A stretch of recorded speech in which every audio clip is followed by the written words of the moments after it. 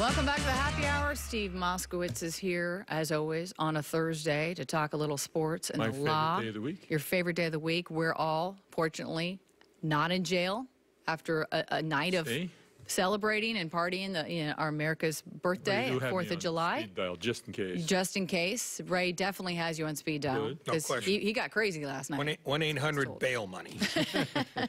Um, uh, some interesting stories going on uh, locally and abroad. Uh, we know with the uh, salary tax, and uh, the Warriors are soon to be um, hit with a big bill. But we OKC right now, currently after signing Raymond Felton to a one-year, $2.4 million deal, is going to be responsible to pay $150 million in taxes this coming season, which is a record that the Warriors will likely break. Um, but in terms of how this works with the NBA and the luxury tax, uh, explain to and me the how. fines if you don't pay enough. Yeah, and the Throw that in. fines.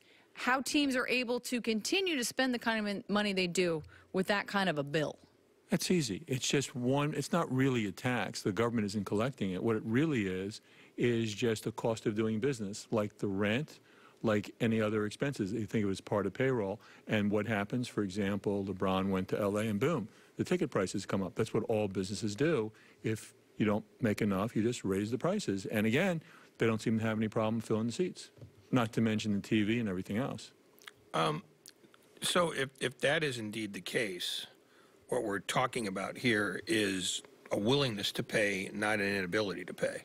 Oh, uh, and that is with most of the cases. I mean, even if you look at big businesses or very wealthy people, oftentimes they have lots and lots of money. Billy Gates has the ability to pay lots, but he wouldn't pay a penny more than he had to for any type of expense. He's got a whole team of guys like me that say, no, he can't do this, can't do that. Does the fact that you call him Billy indicate that there's a relationship here deeper than just There might be, but Are I wouldn't be able to his tell you. Well, Well, once again, I wouldn't be able to tell you attorney-client privilege. Well, we know that the NBA obviously uh, extended a credit line for teams, but is this a tax write-off? I mean, how does this work Sure. with 150 million? Think of it like rent. Think of it like salaries. Think of it like advertising. It's one more cost of doing business. So basically, in, in reality, a good part of it is taken up by the real taxes paid to the government. And if you're talking about here in California, half of it would have gone to the government anyway. So normally, when you, you look at numbers in California for any team, you figure, okay, it really cost them half of that. Because if they didn't, they'd give half in taxes. So, okay, so Oklahoma City's basically on the hook for 150 million dollars in luxury tax. Right. How how can is there a ways that they can ameliorate that, you know, through the government at all, or is it? I mean, can they write off some of that 150 as an operating expense? Sure, they write off all of it. So basically, Okay.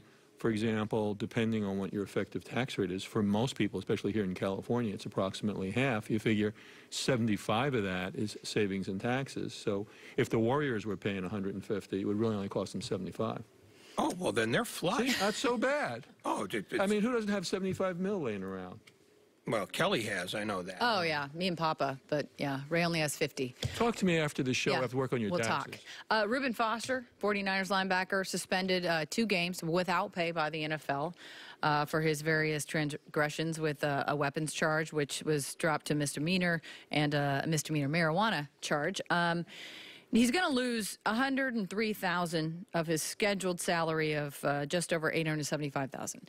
D- does that adjust then uh, his taxes when when he loses that money? Now, i i does he pay less taxes on his Yes, sum? because he didn't get the money. So suppose, for example, he was due 800,000, he only gets 600,000, then he pays taxes on 600. So he doesn't write off what he lost because he never got the money. That's true of any job. If you go ahead and you're not paid, regard even if your boss says, you know what, you make a million dollars a week, if the boss doesn't pay you, your tax on not being paid is 0 Um, somehow, I would have thought Donald Trump would have taken care of NFL fines so that loophole couldn't be used.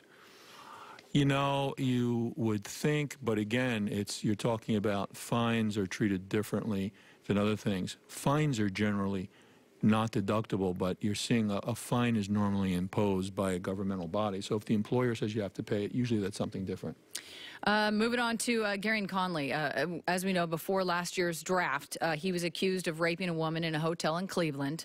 Uh, those charges were dropped, but she proceeded with a civil lawsuit, and now he is suing her back, uh, saying that she made false statements, damaged his reputation, hurt his draft stock, which she did, and cost him multiple endorsement deals. Yes. Apparently, one with Nike that would have been very lucrative. How, uh, in terms of a civil lawsuit, uh, is this going? To, how tough is this going to be to win? Because he he clearly lost money. Yes, he did. And also, he chose to sue outside of California. The jurisdiction he's suing in is less stringent than California. But basically, this is called malicious prosecution. So if somebody wrongfully sues you, you're entitled to sue them back for your damages, and that's what he's doing. So in theory, that's terrific because he lost all kinds of monies because of the false allegations. However, in practicality, if the defendant, the woman here, doesn't have any money, it doesn't matter, and he's just wasting his own money. But the reason he did it in the jurisdiction in which he filed, there was only a year statute of limitations getting ready to run. Here in California, it would have been two. So basically, what he did is he went ahead and he said, "Okay, I'm going to file this. So if you get anything in the upcoming years." I'll take it away from you, but then you have to say, well, wait a minute, could you discharge this in bankruptcy? Mm-hmm. So I wouldn't be writing any checks on that money just yet if I were he. This could this could hold up in court. They're both suing each other, so this could be a while to play out. Well, it could, but again, the, the practical matter, as an attorney, when somebody comes in and says, I want to sue, people always come in, I want to sue this guy. Well, well, do they have any money? And normally what we'll do is we'll send a private investigator, and if somebody doesn't have any money, I said, you're wasting your money in a lawsuit. I won't take a case like that.